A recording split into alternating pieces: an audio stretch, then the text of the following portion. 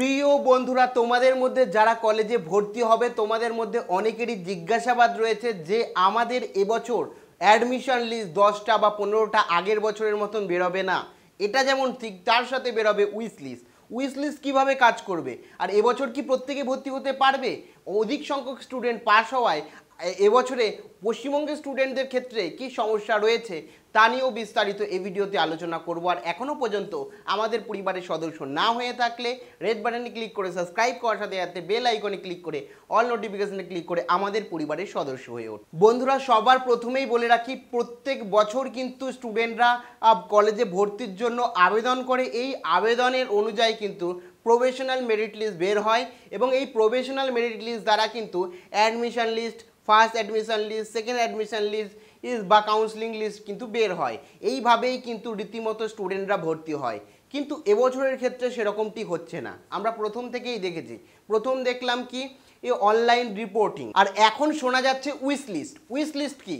মানে তোমরা যারা রীতিমতো কলেজে অ্যাডমিশন নিতে চেয়েছিলে, তার জন্য আবেদন করেছ বা যাদের প্রফেশনাল মেরিট লিস্টে নাম আছে এবং যাদের লিস্টিং তৈরি করা হচ্ছে, তাদের মধ্যে অধিকাংশ স্টুডেন্ট কলেজে ভর্তি হচ্ছে না। কারণ তোমাদের আগেও বলেছি, এখনও বলছি, একটি স্টুডেন্ট কিন্তু একাধিক কলেজে ভর্তির জন্য আবেদন করেছে। একজন স্টুডেন্ট দেখা গেল দশটা কিংবা বারোটা কলেজেও অ্যাডমিশনের জন্য আবেদন করে দিয়েছে, কারণ এবছর কোনো ফিস লাগছে না আবেদনের জন্য। আগের বছরের মতো। সেই কারণেই কিন্তু একই স্টুডেন্ট একাধিক কলেজে একাধিক স্ট্রিম নিয়ে এ অ্যাকচুয়ালি আবেদন করেছে একাধিক কোর্সে পড়ার জন্য। সেই কারণেই কিন্তু সমস্যা। বারবার করে লিস্টিং বের করা হচ্ছে, তার সত্ত্বেও দেখা যাচ্ছে পঞ্চাশ জনের লিস্টিং যাচ্ছে, ওই পঞ্চাশ জনের মধ্যে দুজন কিংবা তিনজন ভর্তি হচ্ছে। কেন? অনেক স্টুডেন্ট আগে ভাগে ভর্তি হয়ে গেছে, অনেক স্টুডেন্ট ভাবছে আরও অপশান রয়েছে বা ভর্তি হচ্ছে না কারণ অন্যান্য জায়গায় তারা চান্স পেয়ে গেছে। সেই কারণেই বারবার লিস্ট তো বের করা হচ্ছে, কিন্তু ভর্তি হচ্ছে না। সেই কারণে আগের বছরও দেখা গেছিল যে সিট পূরণ হয়ে গেছিল অনেক কলেজে সিট পূরণ হয়ে যাওয়ার পরও কিন্তু রীতিমতো সিট ফাঁকা হয়ে গেছে। কারণ ফি রিফান্ড পলিসির দরুন অ্যাডমিশনের যে টাকাটা আছে, সেই টাকাটা নিয়ে সে অ্যাডমিশন ক্যান্সেল করিয়ে দিয়েছে। এরকম দেখা গেছে আগের বছর প্রচুর কলেজের যে সমস্ত কলেজগুলোতে সিট পূরণ ছিল, সেই সমস্ত কলেজগুলোতেও কিন্তু সিট ফাঁকা ফাঁকা হয়ে গেছে। সেই কারণেই কিন্তু এবছর কলেজগুলো উইস লিস্ট বের করতে চাইছে। অনলাইন রিপোর্টিংয়ের মতনই কিন্তু ব্যাপারটা। এখানে বলে রাখি উইস লিস্ট ব্যাপারটা কি? উইস লিস্ট হচ্ছে যারা ইচ্ছুক অ্যাকচুয়ালি কলেজে ভর্তি হতে, তারাই একমাত্র আবেদন করবে। এই উইস লিস্টে কি? যারা ভর্তি হতে একেবারে ইচ্ছুক যে আমি এই কলেজে ভর্তি হবই হব, আমি আবেদন করি। সেই অনুযায়ী তাদের, তারা আবার আবেদন করবে এবং ওই আবেদন যারা করবে তাদের মধ্যে থেকে আবার কি হচ্ছে? লিস্ট অনুযায়ী কি হচ্ছে? লিস্টিং করবে এবং সেখান থেকে আবার অ্যাডমিশন নেওয়া হবে। এবার তোমাদের মধ্যে অনেকেই বলবে যে এটার প্রয়োজন কেন ছিল? তোমরা ভাবো যে একটা নির্দিষ্ট টাইমের মধ্যে কিন্তু অ্যাডমিশন প্রসিডিওর সম্পন্ন করতে হবে। তোমরা সকলেই জানো সেপ্টেম্বর মাসের তিরিশ তারিখের মধ্যে অ্যাডমিশন প্রসিডিওর কমপ্লিট করতে হবে। সেক্ষেত্রে দেখা গেল লিস্টের পর লিস্ট টাঙাতেই থাকল। স্টুডেন্টরা ওর মধ্যে একজন, দুজন কোনো কোনো লিস্ট থেকে অ্যাডমিশন নিলই না।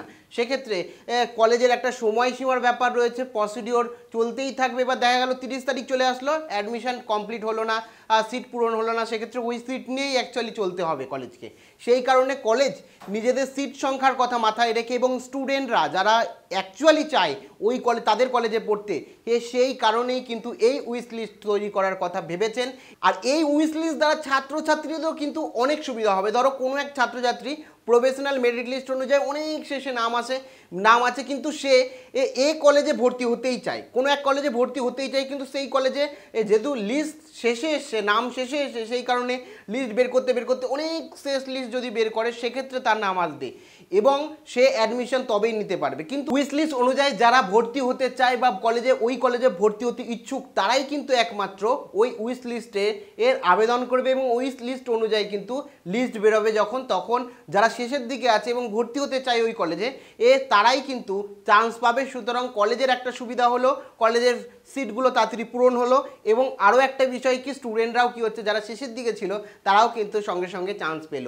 এইভাবেই কিন্তু কলেজের প্রসিডিওর চলবে আগের বছরের মতন যাতে না হয় যে শেষের দিকে অনেক কলেজে দেখা যাচ্ছে, অনেক কোর্সের ক্ষেত্রে যে স্টুডেন্টই নেই ক্লাস করাবে কীভাবে সেই নিয়ে দুশ্চিন্তা। প্রথমে দেখা যাচ্ছিল স্টুডেন্টরা এত জায়গা কোথায় দেবে সেই নিয়ে চিন্তা ছিল এবং শেষের দিকে দেখা গেছে স্টুডেন্টদের সিট ফাঁকা, সেই নিয়ে কলেজগুলো চিন্তায় পড়েছে।